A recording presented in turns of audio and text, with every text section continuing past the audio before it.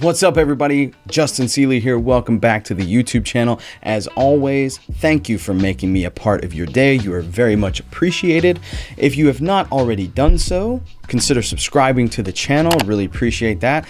Also, don't forget to turn on notifications so you get a little ding each and every time I post a new video. And if you like this video today, give it a thumbs up. It's a small but meaningful gesture that really helps the channel grow. Or at least that's what all these experts tell me on YouTube. I really have no idea.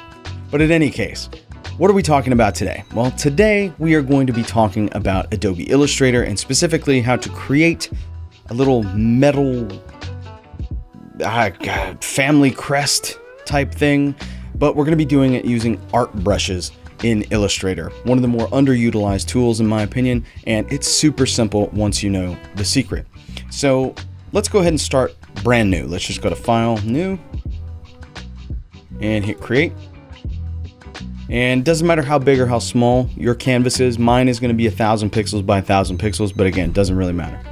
So grab my ellipse tool first and foremost, and I'm going to start by pressing the backslash key to remove the fill from this because I want to be able to see inside of these circles that I create. So I'm going to create one circle like this press the letter V to switch to my selection tool and then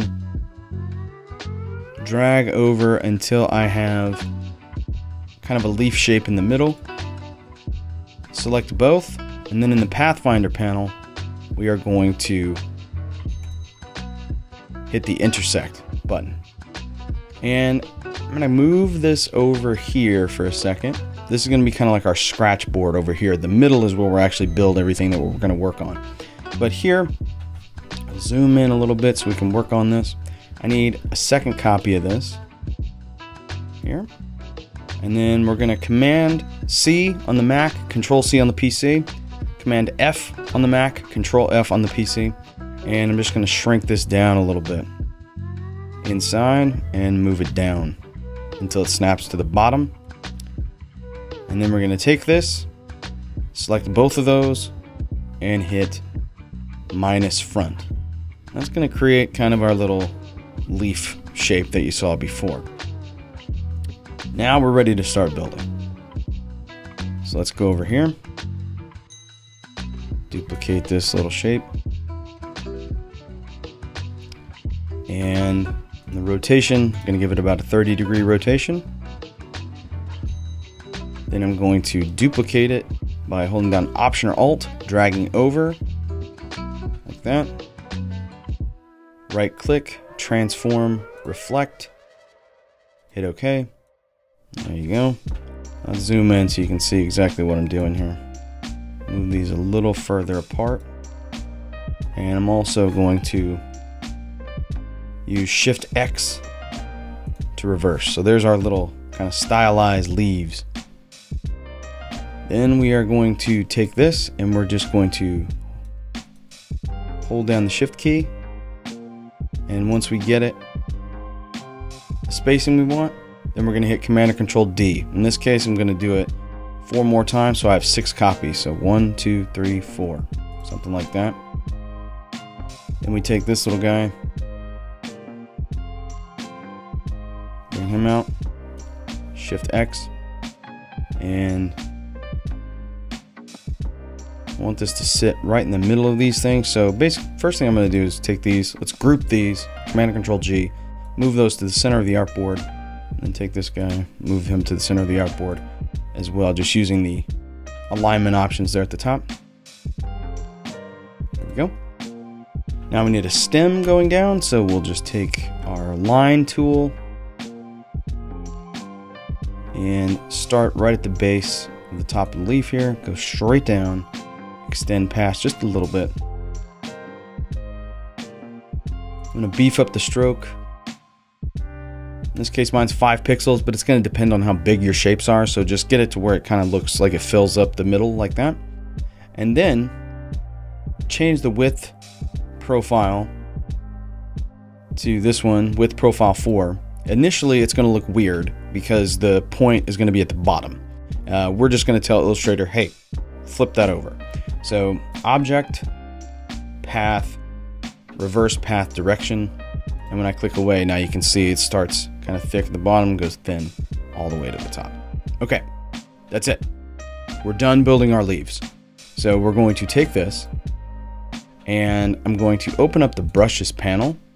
I'm just going to drag and drop this into the brushes panel. I'm going to hit art brush, hit OK. We're going to tell this to scale proportionately. And then we are going to hit OK. And that's it. There's our brush right there. Now, I'm going to create a new artboard over here. Just so we have a clean surface to work with. And then I'm going to start off with a circle. I'm just going to draw out a circle like this. I'm going to use the direct selection tool to select one of the points on the right side or left side of the circle. Doesn't matter which side you start on, by the way. Remove that by hitting delete on my keyboard. That'll delete that. And then, because I don't want the wreath to extend all the way to the top, because otherwise we'd have two pieces touching each other at the top, I'm going to use the pen tool to add a point somewhere close to the top, but not right there at the top. Then we'll use the direct selection tool to delete that point, the original endpoint. So now it's not a complete semicircle, it just kind of goes part of the way up. And you can adjust this as much as you want. Like for instance, if you wanted to take that down even more, you can just add another point, remove the endpoint that you had before, and you're ready to go. Now, all we have to do is apply the brush. So, click once, art brush. There's that.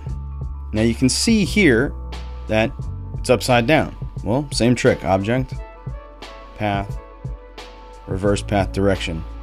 There is our little wreath. And then we can just take this, duplicate it, transform, reflect, hit OK. There we go. And to finish it off, there's a really cool font that you can download. Uh, it's called Marin King.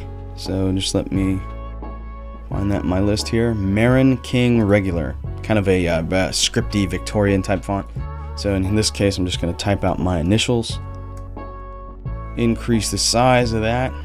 And by the way, the keyboard shortcut to increase type is like the entire left side of the keyboard. Uh, shift Option Command on the Mac, Shift Alt Control on the PC, and then the right or left caret keys.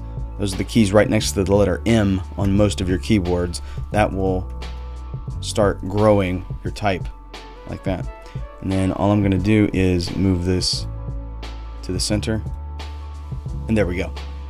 Now, of course, you can add color, you can you can do a lot of things to this, but this is the basics of how we create something that looks like this. So, I hope that this was helpful, and I hope that you enjoyed it, and hope you learned something along the way, and I can't wait to see what you create using techniques just like this. And if you'd like to share that stuff with me, you can do so by following me on Twitter at Justin Seeley or by going over to my Instagram and following me there. I'm at Justin S. Seeley. Again, a little salty about whoever stole the uh, regular Justin Seeley, but we'll let it go. We'll let it go. So follow me over there, tag me in a post, let me see what you create using art brushes in Adobe Illustrator. Well, that's it. I got nothing else. So thanks very much for making me a part of your day. As I said before, I'll see you right back here next time for another tutorial.